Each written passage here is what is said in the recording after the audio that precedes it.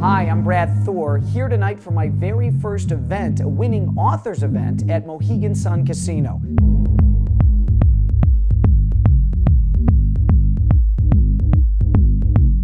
I like best, what I love about meeting my readers is these are the people who I work for.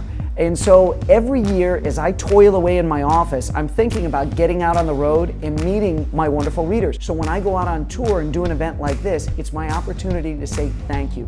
Thank you for allowing me to live a dream that I absolutely love.